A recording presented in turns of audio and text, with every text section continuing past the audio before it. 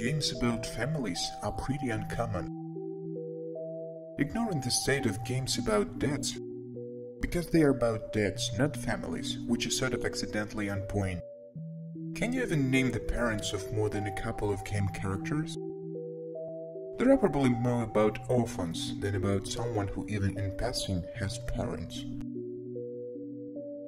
Children of Morta is all about the family. It's a slasher light Diablo-ish game without the loot, which has undergone years of crowd-funded development by Dead Mage. The project is looking to tackle real-world problems in a fantastical setting.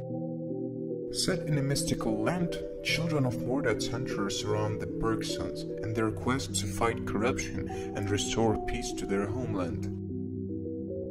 The story, despite falling into common tropes seen in fantasy tales surrounding them, is an engaging one. The Bergsons are the beating heart of Children of Morta in nearly every aspect. Although the story is about an ancient evil taking over sacred lands, they are driving force from start to finish. The true narrative is that of the constantly unraveling lore of the Bergsons.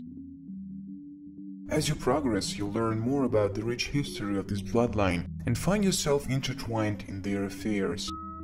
Practically every moment of the story that's focused on Bergsons and their relationships is utter joy.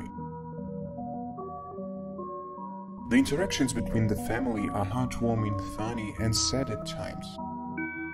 They will do anything for one another, and they have no compunction about heading into danger to protect their kin. Even if you don't play co-op, you'll occasionally have a Bergson turn up to help in some way, and it makes all the sense in the world. Why wouldn't you bring out more than one of your elite warriors when you're fighting a world-ending cataclysm? All of the dungeons, forests, and temples you'll explore in Children of Morta are procedurally generated. Despite the obvious concerns, they still have a sense of consistency and cohesiveness to them. There is a good distribution of loot, enemies, puzzles, and alternate pathways. Children of Morta is designed using hand-painted pixel art and frame-by-frame -frame animations. The work here is beautifully done and makes for some gorgeous visuals. This is especially evident with the characters themselves. Even with the 2D art style, Dead Mage manages to give each member of the Bergsons their own clear-cut design that makes them stand out and easily distinguishable from the others. The choice to go frame by frame with animations also make the world feel more alive. It's the little details such as Linda's hair bouncing side to side as she sprints and flips through a cave, or the leaves rustling in a tree that give children of Morta a refreshing sense of life. The sound design is another key feature that makes this action RPG feel so lively.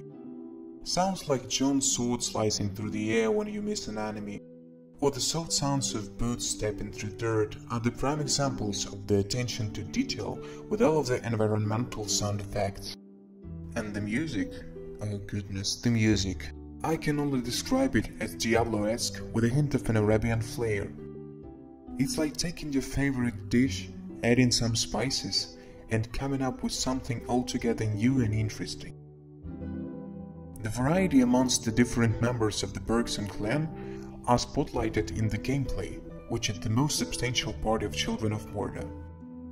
This big family doubles as a diverse roster of heroes with different playstyles to bring to the table.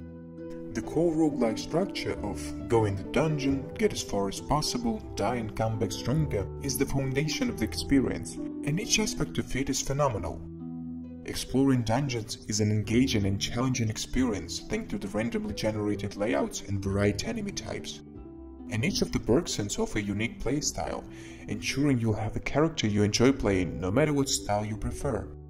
One, for example, goes into battle with sword and shield, Another opts for quick dual daggers instead, and the third methodically snipes foes with her bow.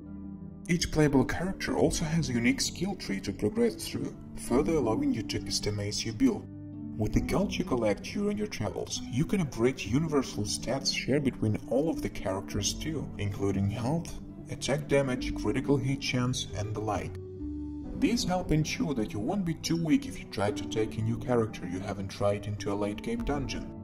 RPGs, particularly this kind of exclusively fighting crowd heavy RPG, do benefit from a tangible feeling of becoming more powerful. And all this does get you playing as less favorite characters, which makes Children of Morta stand out. Children of Morta is one of those rare games that can provide something for players new to the genre and grizzled ARPG veterans alike. It's easy enough to pick up, and despite being brutally challenging if you don't make the best out of every advantage, it is never unfair. You always have a fighting chance. Children of Morta is a gorgeous and joyful experience, whether you choose to go alone or with a friend. When you think family, you realize how it shapes you.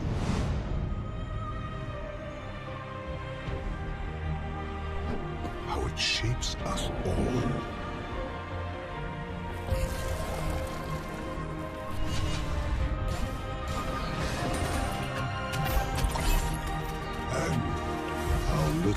And how little we tend to care.